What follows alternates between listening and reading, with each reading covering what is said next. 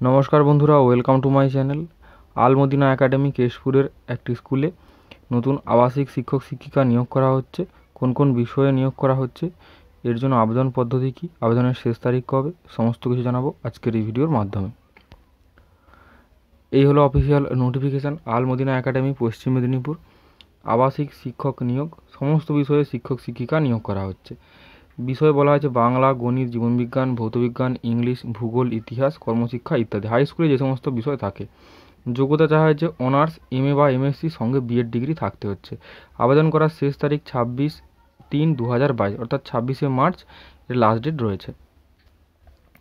এবার আসা যাক, এখানে বলা হয়েছে কেবলমাত্র আবাসিক শিক্ষক, শিক্ষিকা আবেদন করতে পারবে, শুধুমাত্র আবাসিক শিক্ষক, শিক্ষিকা। ইন্টারভিউ হবে সাতাশে মার্চ দু হাজার বাইশ, অর্থাৎ আবেদন করার একদিন পরে। আবেদন করতে হবে, শিক্ষাগত যোগ্যতার প্রমাণপত্র পাঠিয়ে বা অফিসে জমা দিয়ে। এখানে স্কুলের ঠিকানা বলা হয়েছে গ্রাম রঘুনাথ চক, পোস্ট অফিস, কেশপুর থানা, কেশপুর জেলা, পশ্চিম মেদিনীপুর, পিনকোড সাত দুই এক এক পাঁচ শূন্য। ইমেল বলা হয়েছে official email Almadina academy fourteen at the rate Gmail dot com. এখানে বলা হয়েছে কীভাবে আবেদন করতে হবে সেটা বিজ্ঞপ্তিতে বলা নেই, পোস্টের মাধ্যমে পাঠাতে হবে না ইমেলের মাধ্যমে। তার জন্য এদের একটা কন্ট্যাক্ট নাম্বার দেওয়া হয়েছে, যেটা আমি আমার ডেসক্রিপশান বক্সে দেব।